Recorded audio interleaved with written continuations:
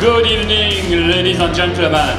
This is a great, great pleasure to be here tonight. It's time to find out who is the great winner of the OptiFuel Challenge 2017. Three, two,